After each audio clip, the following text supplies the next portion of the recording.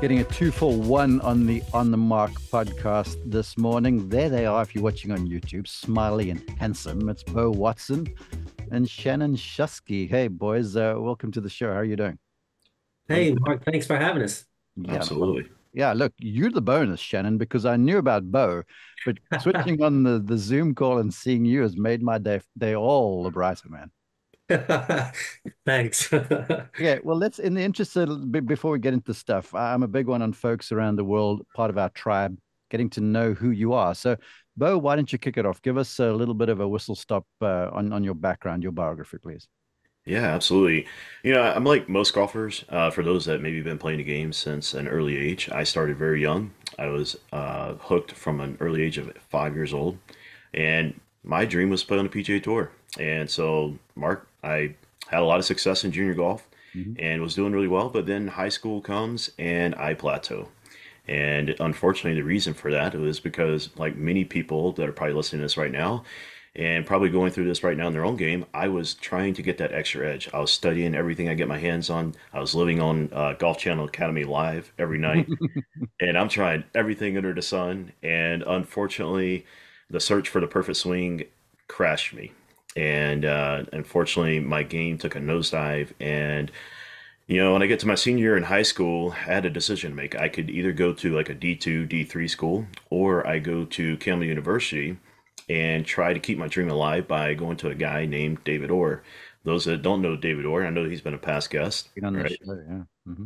So I. Uh, at the time, now here's the funny thing about David. David at the time was actually working with a lot of guys on full swing, and he's kind of you know went head head in to you know putting instruction. So he's known as the best putting coach in the world. Uh, him and Phil Kenyon kind of share that title, and they're battling over that. But the funny thing is, he's kind of come out of retirement uh, here recently and done some full swing stuff with Alex Smalley. So that's uh, that's a side story. But main thing is, I'm there. I actually am trying to learn from him, teach my own self, and I, you know, I feel like I could keep my dream alive by doing that. Well, by being around him, man, his passion is so contagious. I just fell in love with teaching a game. And as a result, I took a side uh, step. And after school, I actually opened my own golf school and I go down this path. And I'm a type A personality. I want to literally help every single person that comes to me. And Mark, I was having a lot of success. Uh, we were tracking our data with all of our students that I was working with. We were seeing about 4.7 shots dropped on average for all of our students that came to me in person you got over six months. You got people paying attention there, like four point seven. Yeah, I'm gonna win the weekend bets if I keep listening. Yeah, that's good. yeah, I mean, and here's the thing: like, I'm good friends with Nick Clearwater, GolfTEC, and so I kind of like to say, hey, I was doing a little bit better than you know GolfTEC's uh, national year. they talk about seven strokes annually. You know, we're a little bit better than that with the six month mark. But here's the thing: things kind of took a a big side turn because I was still having some people come to me, Mark, that were saying, why is it that I always play well on the front side and I blow up on the back side? Yeah. Why is it that I go and I do really bad on the front, but I do amazing on the backside? Why is it that I get to this one hole and it's like no matter what I do, I always seem to hit it in the water? And it was these kind of things that these few students that you know kept coming to me and asking for answers, and I didn't have an answer. And the reason why is because guess what? I, the instructor, was still struggling with a lot of these same things they were struggling with. Yeah. Because when we go back to high school, when I was trying to study and do everything, you know, under the sun, I thought it was mental. And so my logical thing back in high school was, hey, let's go devour all the mental books. You know, you name it, I read it. You know, I'm a big Bob Rotella fan. Uh, Vision 54, highly respect what Lynn and Pia have done for the game. And there's so many others. But the problem was, it still didn't help me back then and yet here I am as a coach, and I still didn't have an answer for them, much less for my own game. Mm-hmm. And Mark, it finally came to a head in September of 2016. I'm having a lesson with a guy. Um, his name is James. And the interesting thing was, on paper, this guy, when we would track him with strokes gain data, we'd do playing lessons. We'd go out, we use stroke gain data, and on paper and the report and everything is showing this guy should be in the mid to low 70s when he goes and plays, like in tournaments and stuff like that. Well, there's a bigger piece of that, but here's the thing ball striking wise, he was hitting shots in practice like a guy that would be a low single digit handicapper. But here's the issue when you play in tournaments, he would be shooting scores in the upper 80s and low 90s. Yep. It drove me crazy. And we mm-hmm. finally had an honest conversation that evening. I'll never forget it. And I said, you know what? I think it's best that we part ways. Well, here's the That's thing. pretty big of you.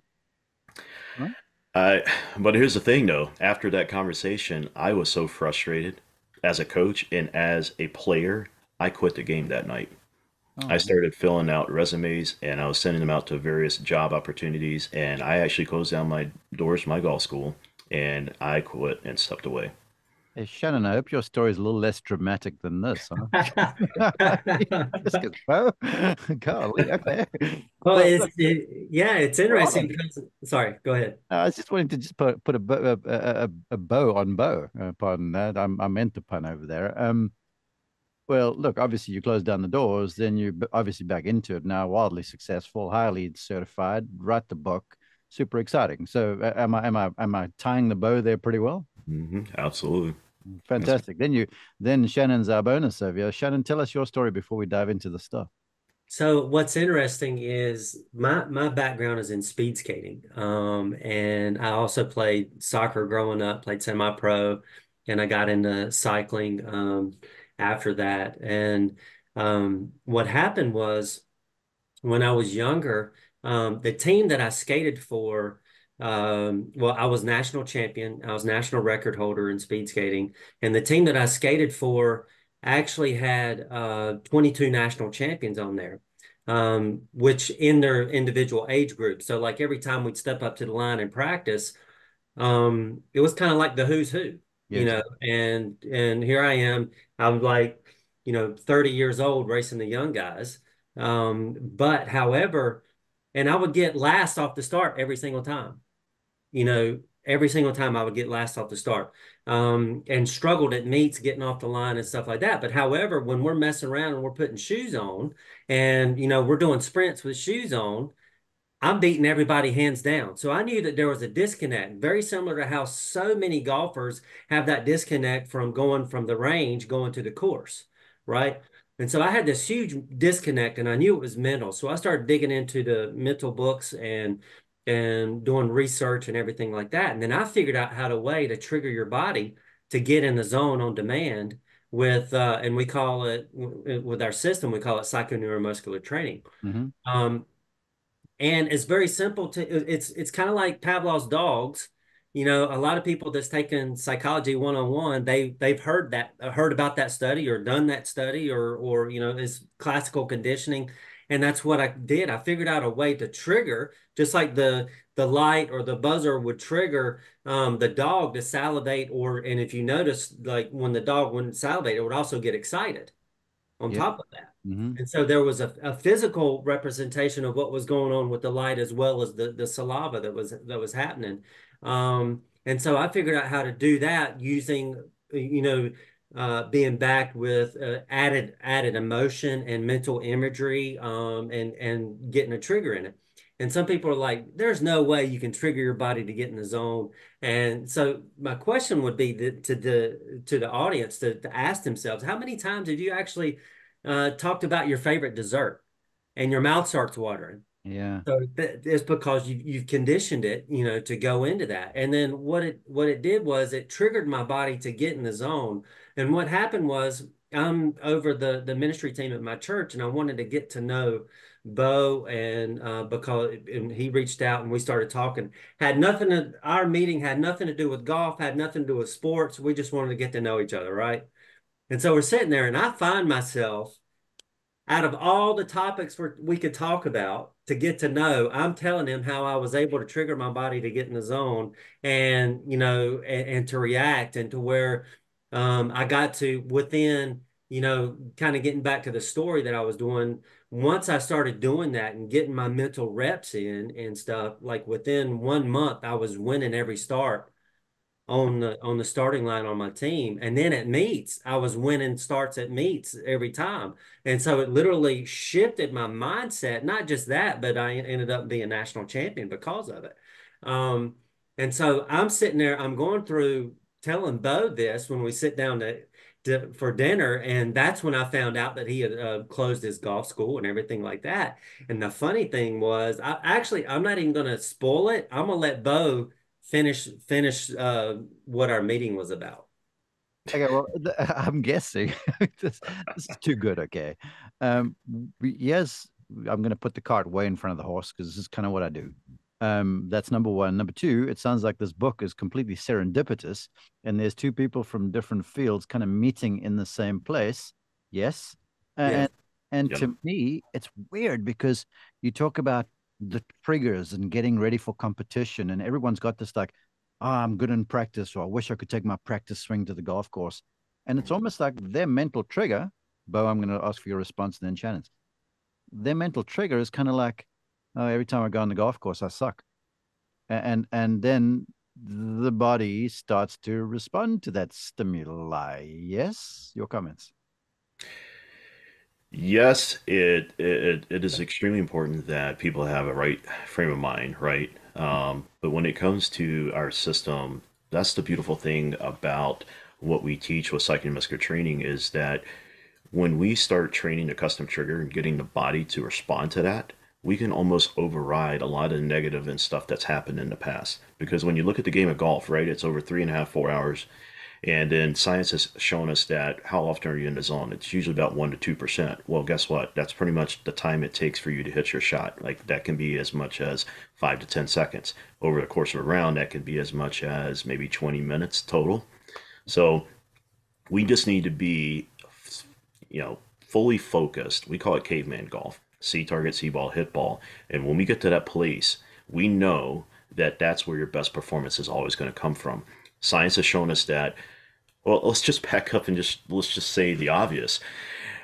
Have we ever heard a Hall of Fame athlete or any, you know, goat of all time, right? You know, when we talk about Michael Jordan, we talk about Tiger Woods, we talk about Jack Nicklaus, or we talk about Michael Phelps. I don't think we've ever heard them say in a press conference after an amazing performance, you know, I had my elbow placed at 45 degrees and I had my fingers tossed and I had to make sure that I get this pressure on it at about 30%. And if I just released it at the right angle, it's going to go in. No, we never hear them say that. We always hear them say, you know, I was zeroed in on my target. I saw the angle of approach. Well, here's an example. I'll never forget what David uh, shared with me one time. He asked Aaron Baddeley, Aaron, what's your secret to success? You know what Aaron told him? He said, I see in real time the ball going into the hole. But then he goes one step further. He says, I also see it in reverse motion. Now, isn't that interesting? So, that right there is an example of what it takes to play at a high level, and they're using mental imagery or some form of it. And, you know, kind of going back to what Shannon was just sharing a minute ago, when we had that conversation at dinner that night, when Shannon shared that his secret, and here, let me give full context. He hasn't shared this yet. He coached after he retired 142 national champions, eight world champions, and two Olympic medalists. When he told me that, Shannon, while we got him on the show, I could just switch him off and you and I talk, yeah? for the price of one. but let me just say this, though, because I'm going to say what everybody's thinking right now when he shared that his secret was to get people to trick their bodies, get in the zone, I laughed. And it, I said, Shannon, you're full of crap. Mm-hmm. And I said, I please don't mean any disrespect, but you have to understand what I stepped away from two years ago. Yeah. Because we met, this is over dinner in 2018. We're in the summer of 2018 when we have this dinner. Um, and I said, Do you understand I understand that it could have worked for speed skating, and I'm still arguing with him a little bit. But this is when he takes out his phone, and Mark, he's doing this right here on his phone.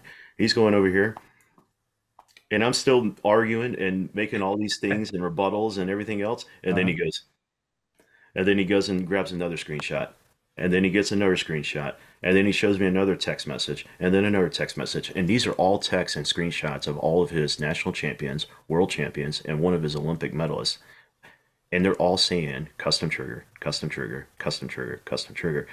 And I said, Shannon, you know, this may work for speed skating, but it's not going to work for golf. Golf is the hardest sport in the world. I said, I still don't believe you. Okay. And, uh, you, you realize, of course, at the time, because he is in ministry, this stuff is heaven sent, apparently, too, huh?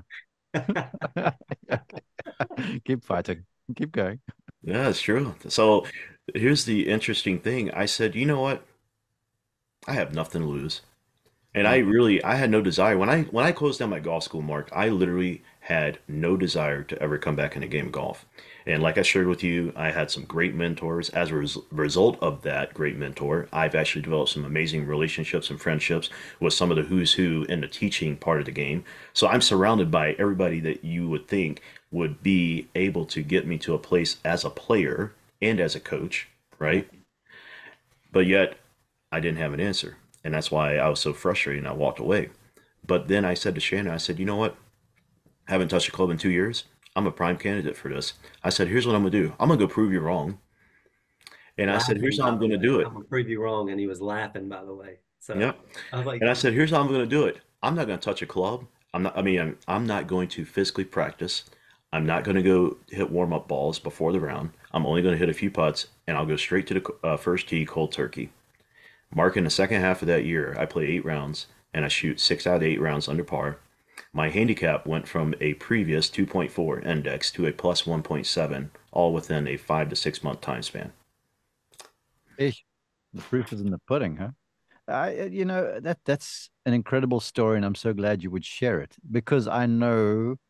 Look, I got into golf instruction because uh, apparently I told my dad when I was a kid I wanted to be a teacher, and so now I'm just marrying my my passion and what I guess I'm coded to do. Um, but I got into golf instruction and I realized there are very few golfers ever playing well, and if they are, they're a blink of an a blink of an eye from playing poorly. And, and to that, Shannon, I, I, had a guy, fascinating man called Mike Wasilison on the show. He's got a company called Move You, and uh, very very smart dude from California. And it's basically an online way to rid yourself of pain by moving your body correctly, just getting into shape, right? And he jokes, he calls, he goes, "You got to fix your shit." And that's basically his tagline. And I got him on here, and he was working with Antonio Brown at the time, you know, wide receiver for the Steelers, and then whoever else before this the stuff went wrong. And he said Antonio at the line of scrimmage, they used to work on him, kind of cycling his body into position to run the route fast off the mark. Uh, with with the with the theory being that he goes, look, you got a fancy BMW, you can't go from zero to 100 in the blink of an eye. You've got to be have the car revving and then you let the brake go. You don't hit the accelerator when the gun goes off. Now I'm talking your language and speak speed skating kind of thing. Mm-hmm. That was just cycling his body. So Antonio AB would go like he'd just almost wake up everything and then they'd call the play and he'd go. So now help me with neuro- neuromuscular training because to me, working the mental side of it is harder than working the physical side of it because it's so easy to give up on, you know, because I mm. feel like recovering golf instructor. Um, when you're on the range, there's always something you can try, right? It's all physical. Um, but being true to mental stuff is like having faith. It's it, it's hard to see, hard to feel. So help me now understand this neuromuscular mental training. Or no, no, pardon me, I'm saying it wrong. Yeah, psycho neuromuscular training, because it's look, I'm on board. You you had me at hello, so so please so please wake me up now. so what what's interesting is you know, um, you hear a, a lot of the uh, top coaches around the world, and you hear uh, athletes around the world. They'll they'll even say this, not just in golf, but I mean golf. Like what what Bo said, it is it is the very the toughest mental sport because of what's going on. Um, and it's so mental that, like for example, you cannot duplicate the same swing over and over again because if you could, the ball would land in the exact same spot every single time you teed it off. Mm-hmm. Um, and so golf is first and foremost, you know, uh, one of the things that we teach. Golf is a game of mistakes. So then it helps your outcome going in there. But the reason why I say that is because um, when you have that strategy and what the, what they say is, you know, 90% mental, 10% physical or depending on the person it might be less you know it might be 75% mental 25% physical. But yet we're spending all this time on only uh, on, on only 10% of the game the physical part of it you know when it comes to swings and stuff like that.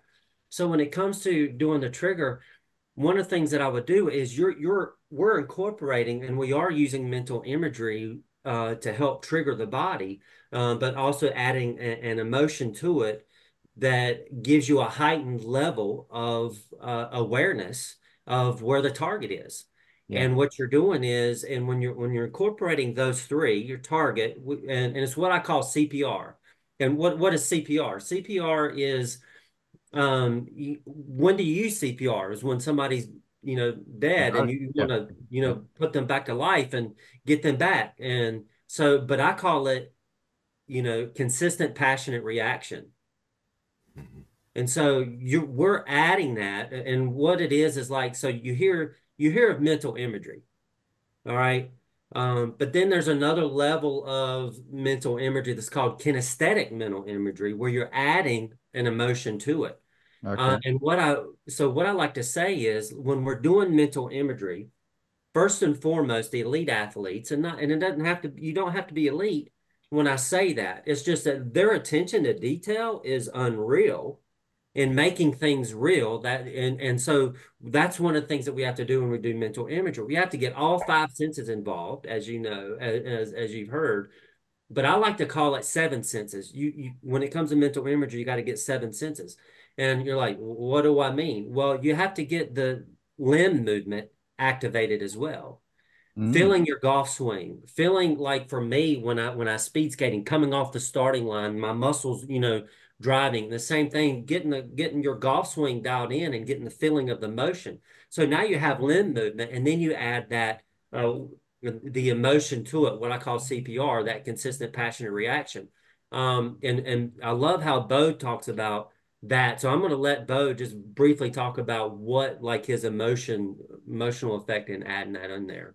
Please do. Okay, I love the seven senses thing. You got me on board. I was involved in a session yesterday where um, there was a very talented young lady who was working. I was privy to a, a, a, session with a sports psychologist, and they were just really dialing in her target focus and not just saying, "There's the target." They're like, "Right, where's the start line? How's it? Where's the end line? You know, how high is it?" So, so really getting into the minutia, like you say, the the details of it. Mm-hmm. Here's the thing, Bo, and I want you to talk about it, but I want to just preface it with this because I guarantee you there are people going, yeah, I've tried visualization. Geez, man, Jack Nicklaus talks about seeing the movie roll of his shot. He goes, I lose the thing halfway through and I just give up, kind of thing. Then you you you feeling me where I'm going? So so, so help guys like me over there. Yes, well, you know, for those that struggle with visualization or even question it, here's what I would challenge them. And this is something when we look at the last 50, 60 years in this game, everybody's been looking for the answer is the perfect swing Mm-hmm. Well, Mark, because of my relationship, and I know you've been out there inside the ropes for a long portion. Obviously, it's no secret. Um, but here's the thing: how many times have you seen guys in like outside the top 500 or top 1,000? They Monday qualify in, or they get a sponsored exemption, something like that. Isn't it interesting that some of those guys have better swings than the guys that are inside the top 10? Heck yes, uh, heck yes, and, and I've been, you know, in my former career as a elite golf instructor. I've been hired and fired by the same people often because the swing of theirs that they're developing it's it's a mercurial thing and it's and and it's an it's a never ending search for perfection and every day you're different because your body is different every day and, and if you're trying to perfect that golf swing i'm more inclined to want to per- perfect the response to the swing and perfect what happens before the swing because you're not going to perfect the swing golly i mean this this is a this is the it's impossible. Yeah, that's a thousand percent correct. So then here's what's interesting is that when you look at someone like Tiger, you look at Phil Mickelson, you look at Jack Nicklaus, let's just look at Jack Nicklaus, Sam Snead, Ben Hogan, and then Mickey Wright on the LPGA side of things. Right, Some amazing Hall of Fame careers, right? Well, let's go a little bit deeper. Who was Jack Nicklaus's first childhood coach? It was Jack Grout, yeah. right? Now, who was Jack Grout's mentor? His mentor was Alex Morrison. Oh, really? Okay. Okay. Now, Sam Snead and Ben Hogan both shared the same coach. Who was it? It was Henry Picard. Yes. Now, who was Henry Picard's mentor? It was Alex Morrison. Morrison. I, I could see that one coming, all right? Yeah. Now, Mickey Wright is probably the second, probably, you know, best ever on the LPGA side of things. Incredible career. Who was her coach? Harry Pressler. I know, I know. I know the answer to the next one. Okay. And that's Alex Morrison. So who is this Alex Morrison guy? And why has he not been giving, you know, the same kind of treatment that we kind of put Henry Picard and some of these other coaches on a pedestal, right? Well, hopefully we are kind of giving him some type of tribute through our work. But I want to say this. Alex Morrison was the first ever to actually really study swings and photographs and stuff like that. But here's the other thing about Alex Morrison. He was the first ever to write the book in 1940 called Better Golf Without Practice. Wait a second. Better Golf Without Practice. Here's the interesting that Alex Morrison did. And there's so many good things in this book, but I'll share one story. He's mm-hmm. working with a well-known comedian, Lou Lore. This guy could not break 90. He had tried everything under the sun, everything. And he comes to Alex Morrison. He said, I'm literally at wit's end. Can you help? Alex Morrison sits him in a chair. They do not touch a club or go practice physically over two weeks. They rehearse in the chair what Alex calls the five Morrison swing keys. They're just doing nothing but mental imagery. The very first round, he goes out and shoots 87. now, why do I say all that? Because when it comes to really elevating your game to the next level, there's always going to be some form of kinesthetic mental imagery that people are using. When you look at Tiger Woods, here's what's funny about Tiger Woods, and I really respect all the guests that you're bringing onto the show, like David Spiegel uh, and, and, then um, Dr. Andrew Huberman. Great have, you noticed, have you noticed? Uh, have you noticed pivot the tech I'm taking you in early 2024? yeah, I know. I put the golf coaches aside for a little while. Hey, look, I, it, it's real. I'm sensing this more and more because I'm getting back into instruction a bit when I have time and so I'm I'm I'm can cherry pick a little bit, and I'm picking you know talented aspirant golfers. And okay. my goodness gracious, one the decision making they they adopt is ridiculously poor, and then just the self talk, all of the stuff that because I you said point out I have the luxury to be around the best of the best when they're playing their very best, and I can see what they're doing, and I can hear what they're saying and and the, the, the difference between that and these aspirant golfers is like the north and the south pole being far away from each other. It's 2000% mm.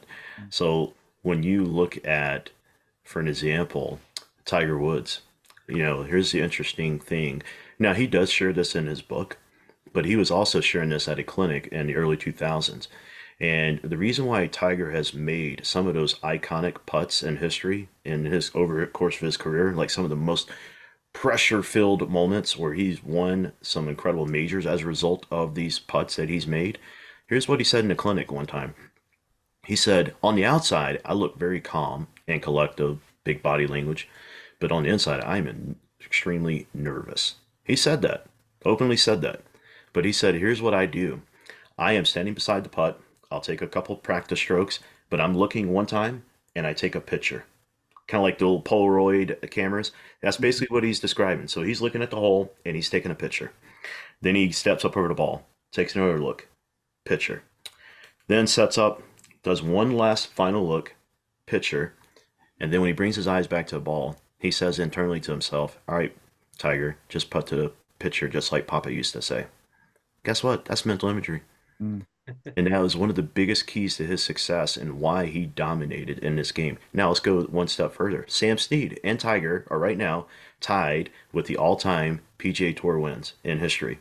Now, here's the funny thing. Bob Rotella shares the secret to why Sam Snead dominated the game. You go to chapter 2 of his book, The Golfer's Mind. Bob Rotella stands up at a seminar. Now, this is a make or break seminar Mm-hmm. And those of you that read it or even know anything about Bob Rotella, he could literally have his career ended if Sam Snead stands up and says, This guy's full of crap, don't listen to him. But what does Sam Snead actually do? After Bob gets done doing his talk, Sam Snead stands up and says, We need to listen to what this young man is saying. Mm-hmm. And then Sam Snead goes on and shares the reason why I did so well in my career is because I would go to bed every night and I would envision the night before the round me playing, you know, about the whole 10, hole 12, 14, whatever, and I'd fall asleep, wake up the next day, feel great, go through my morning routine, and I'd have a great round. Now, granted, he does struggle later on in his career and he goes away from that. But what's interesting is you go and you look at um, Bob's newest book, How Champions Think. He actually shares that Sam Snead gets himself out of those putting woes later in his career by actually going back and doing mental imagery to fix it. Well, I guess then, Shannon, um, you guys have written a book. I've, I've heard the inspiration for it. Um, the book is called In the Zone Secrets. So you guys are basically inside of the book sharing the secrets to this mental imagery and to to psychoneuromuscular training and these triggers to get one going. Because again, I, I want to visit with you real fast. This can overcome nerves and stuff too, because I've got some juniors playing a tournament this afternoon. And I know one of them is nervous right now. And then because of nerves, your mind starts running rampant a little bit. And then all of a sudden, you've scuttled your own performance. You, you care to comment there? Yeah, 100%. I mean, it, well, mental imagery can calm the uh, anxiety because it's going to bring a lot more confidence because you're seeing yourself over and over again perform at the highest level under pressure. However, at the same time, let's look at let's look at the stimulus of what nervousness is. What is it? You know, um, like let's say you're talking about your juniors the night the night before their big round what are they feeling? Well they probably got knots in their stomach you know they're they're having visions of the future like what in the world's going to happen nightmares uh, about and stuff yeah. Yeah you, you know they might even have cold sweats you know sweaty palms and and you know and everything like that. Well then now let, let's let's let's shift it and do a, a 180 you know when i was a kid i used to have wonderful i had great christmases and Christmas night on on on Christmas Eve, um, what was the stimulus that was going through my mind? I had visions of the future, mm-hmm. cold sweats, knotty stomach. Like what in the world's going on? So it's the same stimulus that I was having. One was an exciting version, and the and then the other ones is the nervous version. Yeah. So then we need to reframe our brain if it's the same stimulus simply by saying, I, I would tell the juniors, let's do this. Every single time you think about it, say out loud, this is exciting and I can't wait to perform because it's going to give me an opportunity to showcase my talent. Something as simple as that. Yeah. But then not just that, every single time they're doing mental imagery and uh, I like to call I don't like to call it positive self-talk. I like to call it power talk. Okay. Because the reason why is because what words can do to your body it can change so many things. You know, it can dilate your blood vessels. It can lower or, or raise your heart rate, blood pressure. I mean, all the stuff that words can do um, in your body. But then what happens is when we keep telling ourselves that, we start believing it. Yeah. You know, and, and then there was a study that was done out of Harvard. It said that when you speak something positive, it has 10% more likely of a chance that it'll affect you some way, somehow. However, if you speak something negative, it has a 40 to 70 times more to affect you some way, somehow. So why not let's just get rid of the negativity, the people that want to berate themselves after a hole. Well, guess what? It's affecting you. It's like you're carrying a mental brick and mm-hmm. it's getting heavier and heavier and heavier because of all the words that you're laying on top of it and you're believing it, right? So let's get rid of that, totally eliminate that behavior and start focusing on the positive. And so reframe that every single time you're doing your mental imagery and doing that, reframe this to exciting. This is my chance to adversity is my advantage. You know, um, the harder it gets, the harder I get. The longer, the longer it goes, guess what? The better I get. That's for, you know, the the tour players and they're going on their, their third day of, of competing and they started getting fatigued, mental fatigue and everything like that. Let's let's flip the script and reframe um, how we talk about it and how we view it, because then what will happen? The reason why I say that is I had a client that um, she in speed skating made the world team, and she uh, uh, also represented the U.S. for at the Pan American Games as well. But then she started um, anxiety started getting into her, and she started because here's the thing: we can't control negative thoughts. Now, a lot of people out there be like, no, well, yes, I can. Well, so, well, if you can, then why do you have negative thoughts?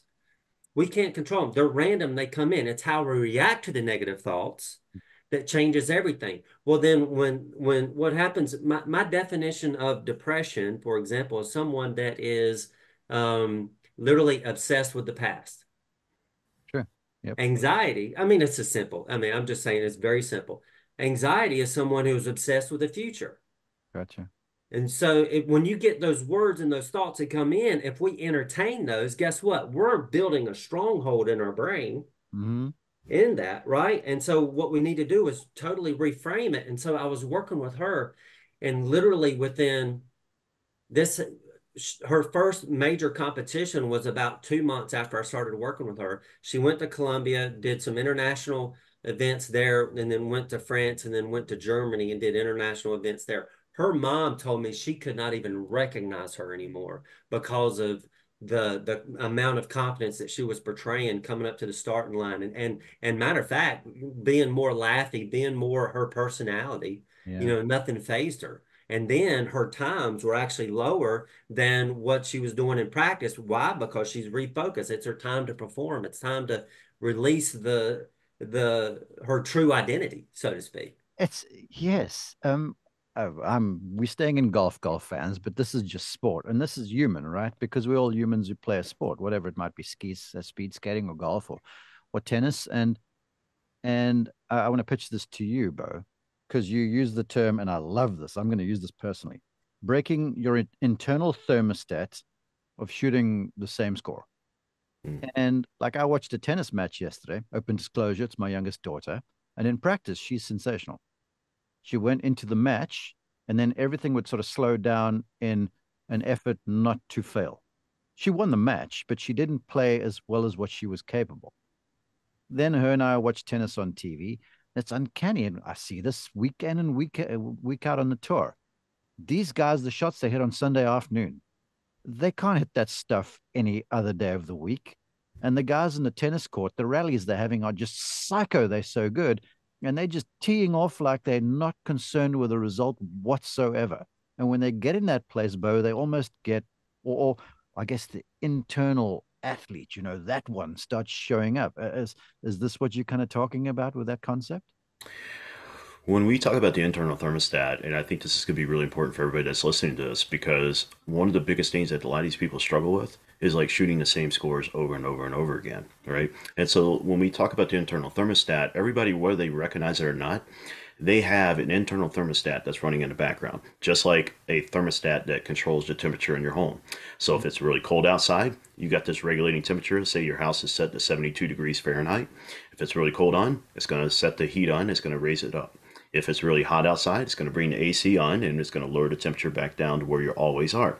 Well, people's golf games are very much the same way when it comes to their scores. This is why people struggle with when they go out and they play the front side really bad, but then on the back side, let's say they shoot 46 on the front.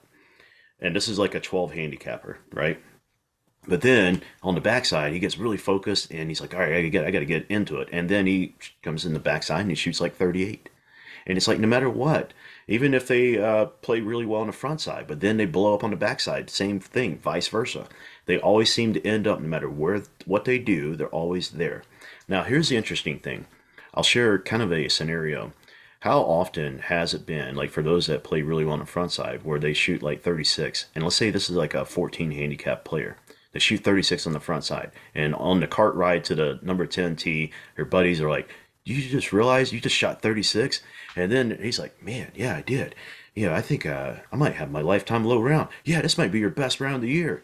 And then they go to the backside, and isn't it interesting? Within like the first two holes, if not that very tee shot, they snap hook it, OB, and then they make double, and then it's another double bogey, and then it's another bogey, and then before you know it, they shoot 46, 47 on the backside, and then they end up where they always are. Yeah. Well, the interesting thing about the internal thermostat, Mark, that was the biggest thing I struggled with throughout my career. In junior golf, I can't tell you how many times I would start and be three or four under through the first seven, eight holes. And Mark, this is what I would do. I would be like, after that seventh, eighth hole being like three or four under, I'm like, man, this might be my lowest round of the year. This might be my lifetime low round. Man, I can't wait to get home and share this with my parents. And I can't wait to call my grandma, who was really important to me and actually introduced me to the game, um, to like share with her. And, you know, I'm sitting there daydreaming and I'm portraying all these situations and scenarios. And then the train comes off the tracks. Mm-hmm. And so this is a dilemma that we talk in depth in the book about and we also show you how to actually break that. See, the first issue that most people are struggling with is that they're surprised with how well they're playing. What that does is when they recognize, oh man, this is good, this is like, wow, I'm like uncharted territory, that's a communication to the internal thermostat that's governing your game right now. And it's saying, hey, something is off, do something about it. And unfortunately, what happens is then bad shot, bad hole, bad shot, and then or vice versa. They play really really bad on the front side, and then they're communicating to the internal thermostat we got to do something different and then they get really focused and they play really well on the backside to still finish where they always are. So to break that we have to change what their identity is as a golfer. And i'll share a quick story and this is a story I also share in the book but I always love the story that Tom Bilyeu and Trevor uh, Moawad, I think is his last name, but he was the uh, sports psychologist to Alabama during the years when Alabama was dominating in football with Nick Saban. Mm-hmm. So here's a conversation that Trevor was sharing with Tom on impact theory. He said his dad came home from a Toastmasters conference, and he said, "You got to hear what just was shared at this conference." And he said, the guy that was sharing the story said that there was a kid in high school that was hanging around all the bad people. And this is a true story. And he was hanging around the wrong people, you know, probably into drugs, doing all the wrong stuff. And it was his junior year. And at that time, you know, we were, we need to take the SAT. And so he's like, you know what the heck, I'll go take the SAT. Well, he goes and takes the SAT. He gets a score back that he scored 1480 out of a possible 1600 back then. Okay. At that point, when he gets home and is showing his mom, his mom asked him, "Son, did you cheat?" And he said, "Well, I tried. I really tried because you know, but the problem was the seats were too far apart and I couldn't." Okay. Right. And here's the thing. His teachers thought they had missed the boat on him, and they're like, okay, we need to start pouring more into him. And he actually decides to start sitting at the front of the class. He cut all ties with his bad friends. He starts doing all the right behaviors that a person that would be smart would do and he graduates high school. He goes to community college because his GPA was so low, he didn't have enough to get up to where he needs. He goes, I think, a year or two in community college, transfers to an Ivy League school, and then graduates with honors, and then becomes the founder and CEO of the most successful magazine company in the world. 13 years go by. He gets a letter in the mail, and his wife uh, puts it on the counter. And he goes there for about a day or two. And finally, his wife's like, Are you going to open this? And he said, okay, fine, I'll open it. He opens it. It's from the SAT editorial board. And it said, you know, periodically we uh, review our test taken policies, and unfortunately, we found that you were one of 12 students sent the wrong scores. You actually scored a 740, not a 1480. now, wait a second. Yeah, I thought that your past always predicts your future. Not in this case. And so, for him, what happened was that he believed in this identity, even though he was not. He was a 740, but he believed and acted like a 1480. And because he did that, he did the behaviors of a 1480 student. And guess what? The rest is history. Now, how does this apply to golf? Well, if we constantly believe in this internal thermostat, whether we recognize it or not, that we are always like a 15, 20 handicap, and we're trying to get to a single digit, but we keep behaving and acting like a 15 20 handicap, then why are we surprised that we're not shooting low single digit scores? Yeah, okay. The key to break that is you have to change identity, and the rest is going to come in to okay. I've kept, I've kept, you guys for a long time, but I want to touch this, um, Shannon. Look, it, I guess it comes down to speaking life into every situation all of the time, and you've got to be brave enough as the individual in the middle of the the melee to do it yourself because people can talk that stuff into you, but you can be immune and, and numb to the stuff, right? Um, but then you guys talk about the value of breathing and the psychological sigh. Now, I'm a believer. Um, I've partnered up with NeuroPeak Pro. They've been on the show, and I can. Will Zalatoris was talking to me just the other day about it, how it's helping him. He had back surgery, and the breathing is just helping him deal with stuff easier. So, so help us there too, because like if we watch races, Shannon, if it's Olympics is coming up in 24, you watch the races or whatever, the gymnasts, swimmers before the uh, the race when you're you're going to be defined in a mere matter of seconds, right? You can see the focus, the intensity, not the tension, but the breathing. So talk about that psychological side and the value thereof, please. Yeah, the um now this is the the study actually came out um last year in January. It used to be called the cyclic sigh, and then they actually changed the name of it to physiological sigh. Um, and it's just uh, psychological. Forgive me. no, that's okay. That's a, but but actually, I love it because because that's what you're doing. Is you're it's like literally what you're doing. It's like a a, a dishwasher for your brain. okay, because you're you're clearing it out, um, so you can actually think clearly, um, and and, and more. And uh, so what happens is what what the physiological sigh is is very simple. It's like it's like two seconds deep breath in, and then uh, uh it's like two breaths, two seconds deep in, and then a, one second of a further deeper breath, and then a quick pause, and then six seconds out. So it kind of looks like, you know, if you can hear me on here, it's like a Yeah. Mm-hmm. And so what happens is uh, the, the very first deep breath, it fills your lungs up. Well, then there's sacs that's all around your lungs. The second deep breath fills up those sacs in the lungs on top of that. So then what happens is you have an increased heart rate. And then with the six second breath out, it actually decreases your heart rate even lower. And so what it does is it's it's actually very similar to uh, with the case study that was done out of Stanford they actually had over 700 participants that was in this case study. Now they did all kinds of different breathing techniques with it as well and they found out that this one was the king of them all and they realized it can actually it's it will lower your stress level. You're like for example if you did that for five minutes in the morning it'll lower your stress level. It very like you know when you wake up you have your your resting heart rate. Yeah.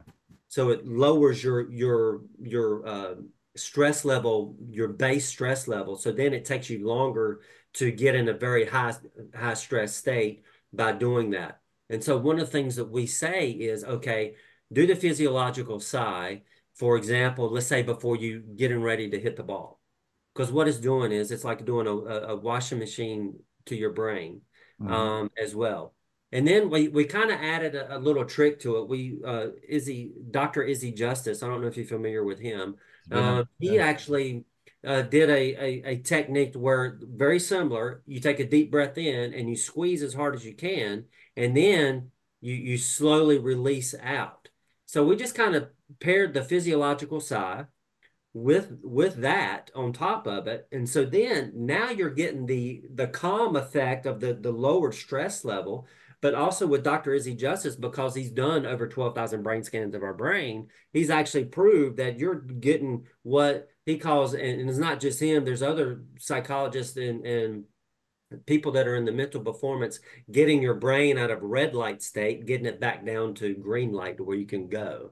Mm. And what happens is when you do that, let's say you do the physiological sigh, and at the top of the sigh, you squeeze as hard as you can from a level of uh, a 10, you're going at 11. And then for the last six seconds of the breath out, you slowly release your hands. What'll happen is it's like doing 20 minutes of yoga in your brain. Yeah. Love it. And hey. then you're you're releasing that stress. And we use that as like a release. So here's the thing. After a bad shot, what do you do? Do that as a release. Yeah. You know, to to release it to kind of get your brain because it'll clean out um, and, and, it'll help you. But then if you do it before you're getting ready to hit a, a, a, great shot, you're going to be a lot more relaxed, a lot more calm. You'll notice that the target will be more real to you as well because you got less going on in your brain. Yeah, so true. Hey, um, well, those NeuroPeak guys, they work with a number of players on the tour. Viktor Hovland, Jordan Spieth. Keegan Bradley has just started with them. And if you watch Keegan in his pre-shot routine, he actually holds his hand to his diaphragm and he takes like a couple three seconds in and breathes it out and that's part of the routine now pre-shot. And and then i mean there's there's a synergy between everything. Like i had Ryan Duey on the show. He's the founder of cold plunge you know because it's been proven now that cold plunging is good for all manner of ills with the body. Oh, yeah. in that cold water the first time you're like and then you start to you know it's like panic and then you start to breathe into the calm state of it and then all of a sudden your body kind of finds balance which is what we're looking for competing at whatever level. Yes? Mm-hmm. absolutely. All right. 100% okay boys this has been tremendous. I can't keep you for too long but people can find you and they can find uh, the book certainly. So bo why don't you share where they can find you and the book please Absolutely.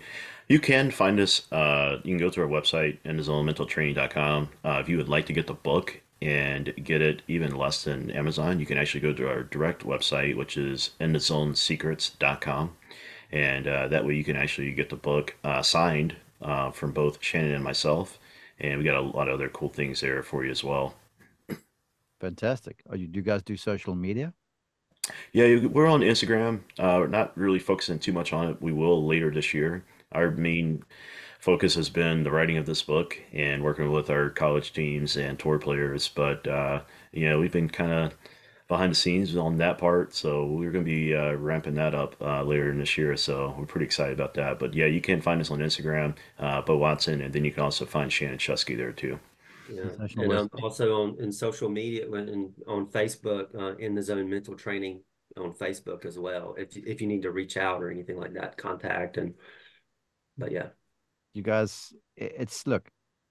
This is a concept that everyone's heard about, everyone's inquisitive about.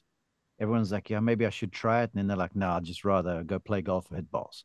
Um, but you know, I think if I had to cap the whole thing, I'd just say, in the end, we're just all human beings trying to achieve something. And so getting the human of you figured out, the the rest of it tends to want to fall into step some. Yeah. It's it so here's the thing. When it comes to mental training, it's work, but it's not hard work. It's just having the right strategy and what you're doing with the mental training and getting the reps in. It's like going to the gym. You know, if you go to the gym, um, you know, after the first day when you get back home and you look at yourself in the mirror, you know, you're not going to see any changes, right? Well, mental training is very similar to that, but actually there's a quick, a, a, a much more turnaround time when it comes to getting into your performance. So you're getting mental reps in that directly affects your physical performance. And um, it, it's a huge, a, a huge game changer. Fantastic. Hey, you guys are the best. I appreciate you reaching out, Bo. Um, do keep in touch this is fantastic work. I feel like it's kind of a frontier in golf, and I'm thankful that you guys are are kind of uh, blazing the trail for all of us. Appreciate you. Yeah, thank you thank so much you. for having us on, Mark. Thanks, Mark, for having us. Yeah.